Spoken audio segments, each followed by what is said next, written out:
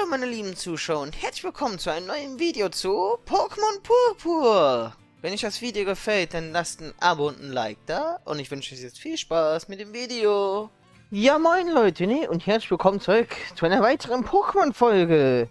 Ja, nach dem letzten Mal habe ich meine Pokémon ein bisschen hoch trainiert. Ein bisschen ist gut. Ich habe alle meine Pokémons auf Level 30 trainiert, also die vom Team, nicht komplett alle.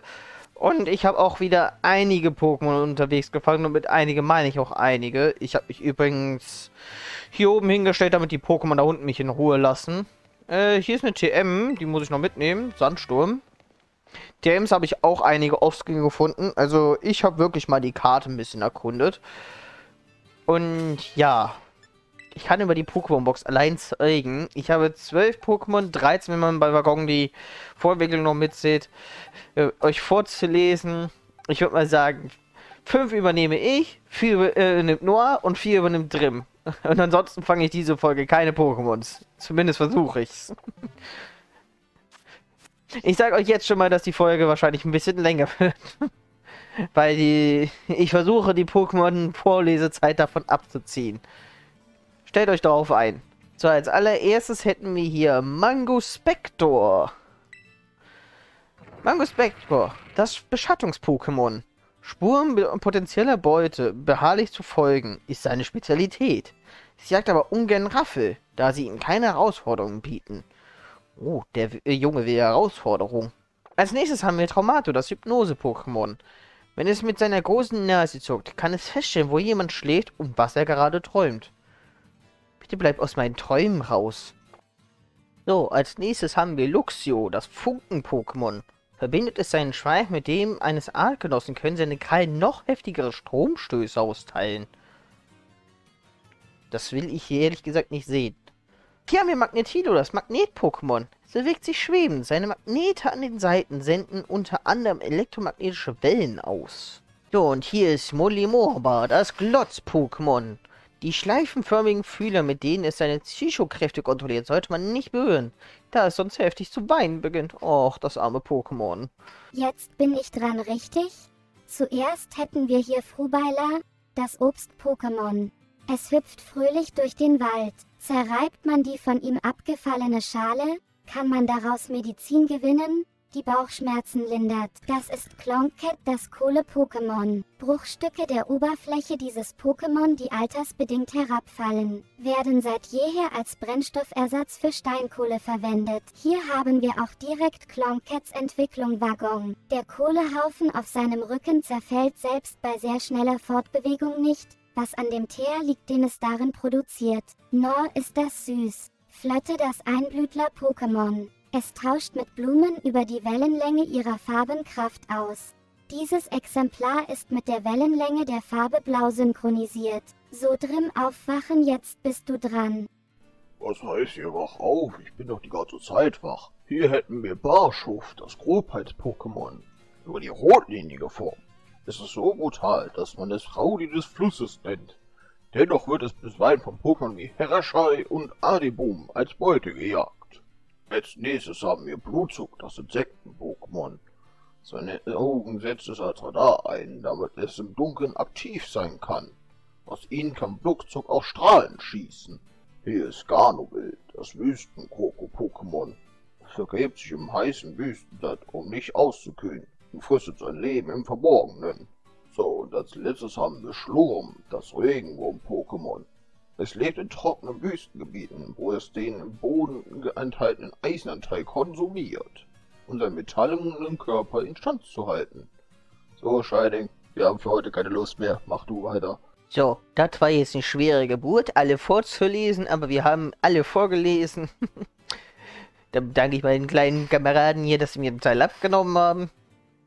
Bei Schloh muss ich nochmal sagen, ne? Ich hätte jetzt eigentlich schon erwartet, dass das zumindest auch noch ein Käfer-Pokémon ist. Und nicht nur ein Stahl-Pokémon. Also das war halt übrigens genau da, wo auch der Herrscher war. Genau dort war es auch. So, dann gönne ich mir noch.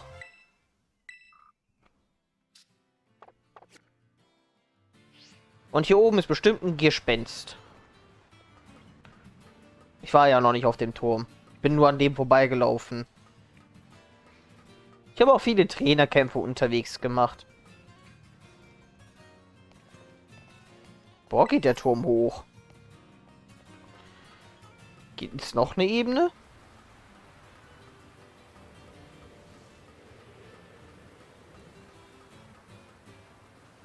Da ist mein Gierspenst.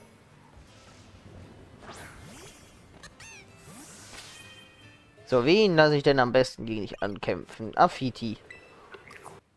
Vielleicht ist es ja besser als mein jetziges. Das Schatztruppen-Pokémon, die Tonform. Es gibt noch eine andere Form. So, ich habe demnächst meine Aufgabe. Ich mache das übrigens so, wenn ich offscreen ein paar Pokémon fange, dann tue ich die immer absichtlich in die hinteren Boxen, damit ich mir das für die nächste Folge immer merken kann. Also keine Sorge, ich vergesse da nie eins. Muss jetzt halt nur einmal kurz in den Boxen hier wieder zurückgehen.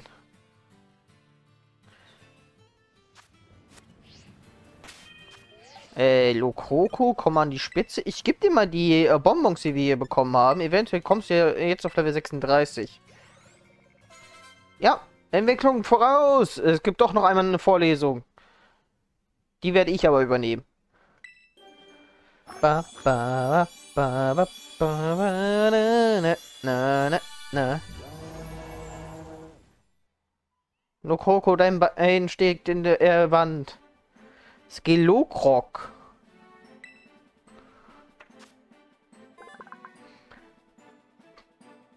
Skelokrok, das Sänger-Pokémon. Sein sanfter Gesang beruhigt die Seelen all derer, die ihm lauschen. Feine verbrennt es mit 3000 Grad Celsius heißen Flammen zu Asche. Mit 3000 Grad? Das ist, äh, das ist ja mal richtig bescheuert. Loderlied.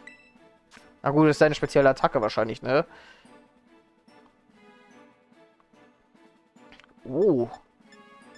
Das ist eine sehr tolle Attacke tatsächlich. Ich nehme das statt dem hier, statt Nitro-Ladung.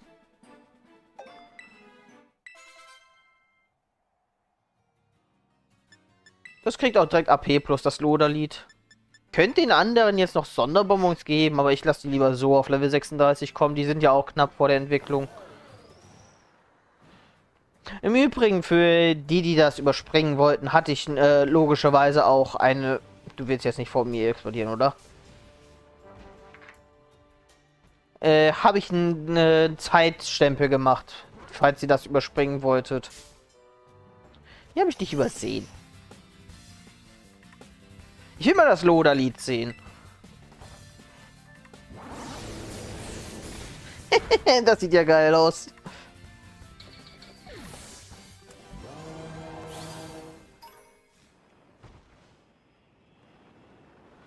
Oh, ein Dictri.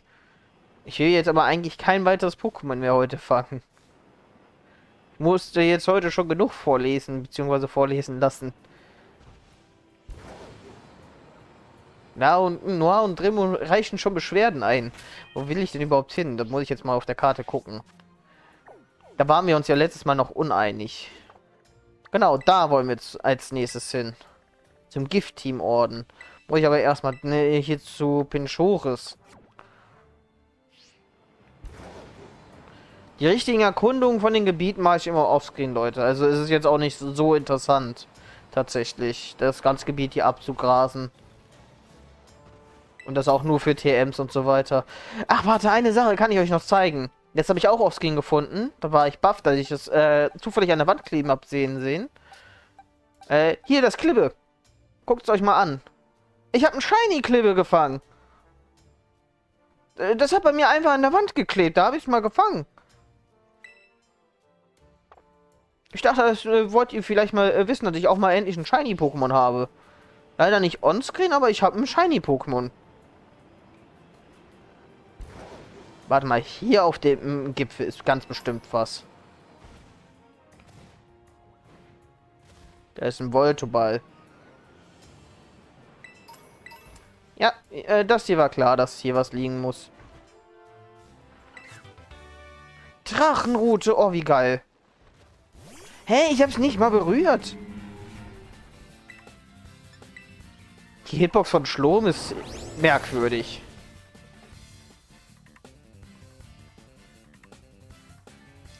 Ach, bin ich ein Geister-Pokémon? Das habe ich gar nicht gesehen.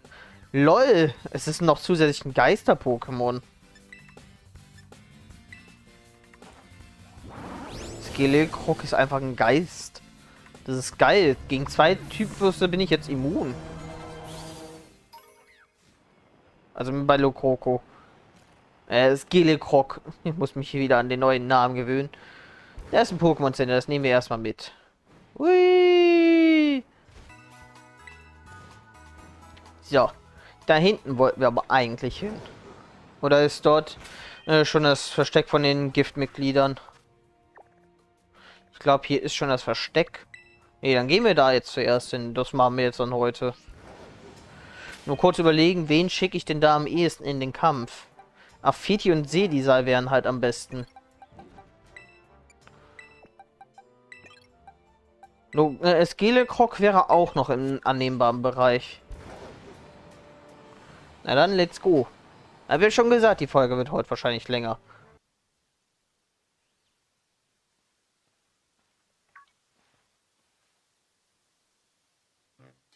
Bin ich gewachsen oder sind sie geschrumpft? Egal.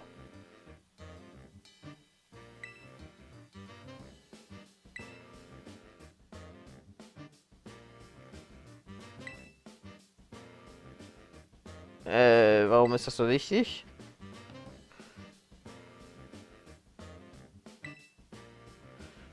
Was für eine Sache.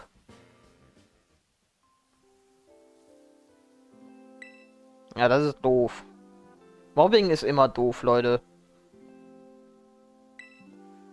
Wenn ihr seht, dass jemand gemobbt wird, äh, setzt euch dagegen ein.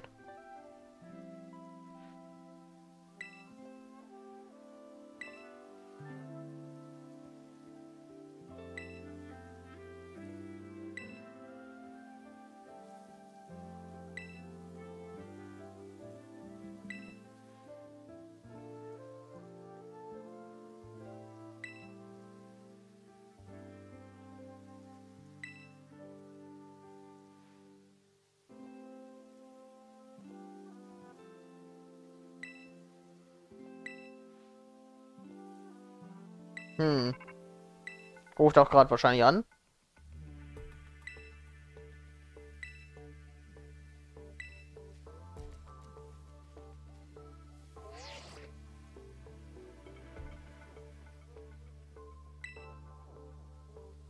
Nein, hier ist niemand.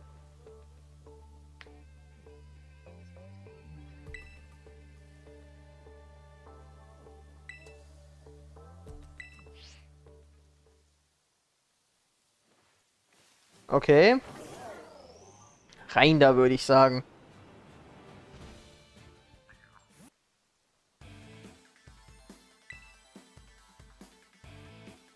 Hm, warum will er den treffen?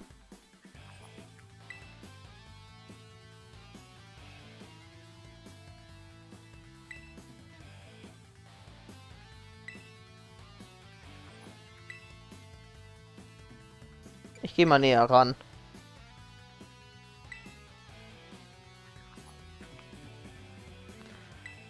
Warum bin ich jetzt ein Clown?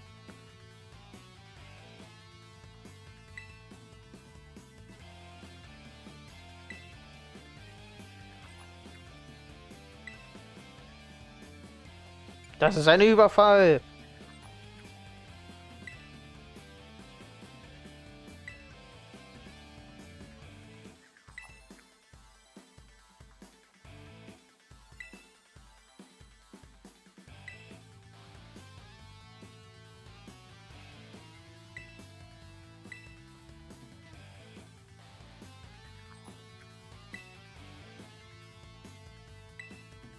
Okay.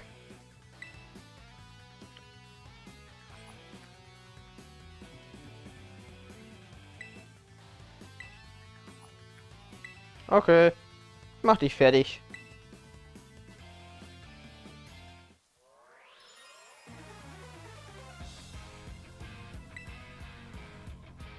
Laszlo.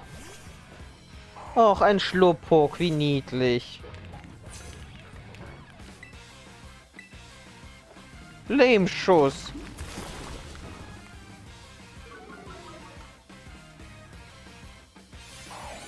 Oh, es hortet.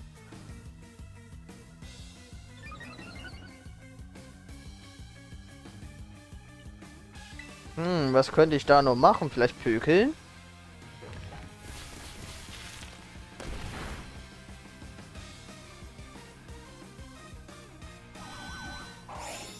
Ach, es heilt sich damit nur. Ja, pökeln war eine gute Idee.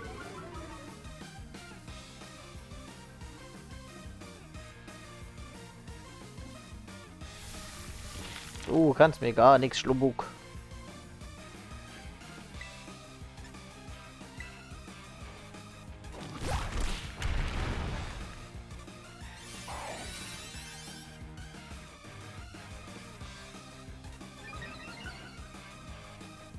Hier ist ganz cool.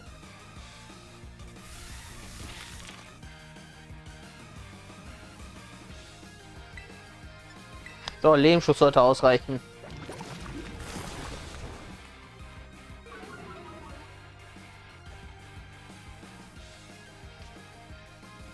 Haha, hat keine Wirkung. Ich bin gegen euer Gift gewappnet. Nicht Kanone.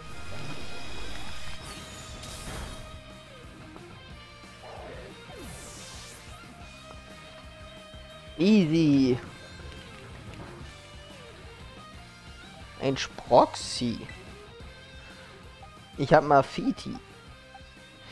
Los, es geht, äh, es geht Krok.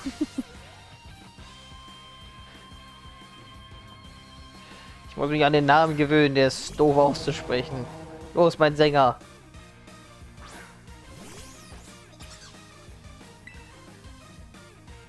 Sing ist weg.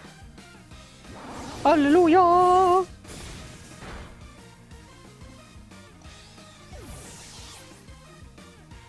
Das ging doch schnell. Tja.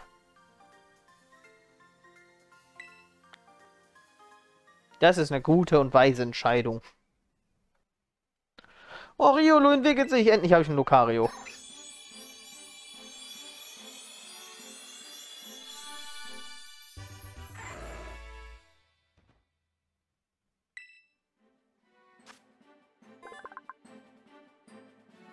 Lucario. Das Aura-Pokémon. Ein trainiertes Lucario kann mit Hilfe seiner Aura spüren, welches Lebewesen sich in 1 Kilometer Entfernung aufhalten und was sie empfinden. Ja, mein Lucario, Leute.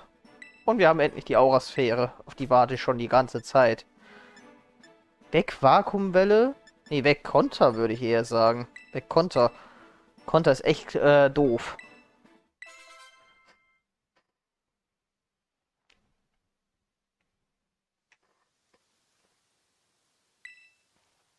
Würde nicht.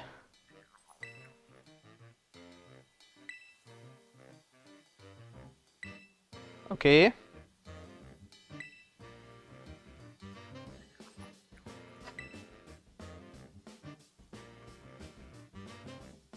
Okay.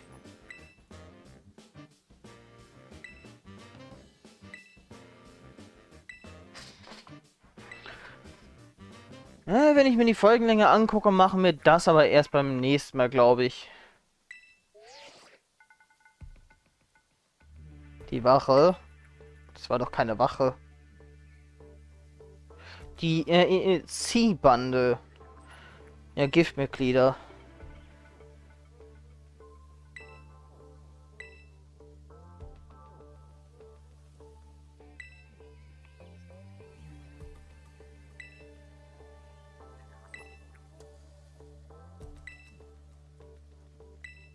Ja, wie gesagt, das machen wir nächstes Mal. Das würde ich nicht jetzt machen. Ja, Leute. Ich hoffe, ihr hattet Spaß mit dem heutigen Part. Wenn ja, Abo und ein Like da lassen. Und wir sehen uns beim nächsten Mal wieder. Tschüss.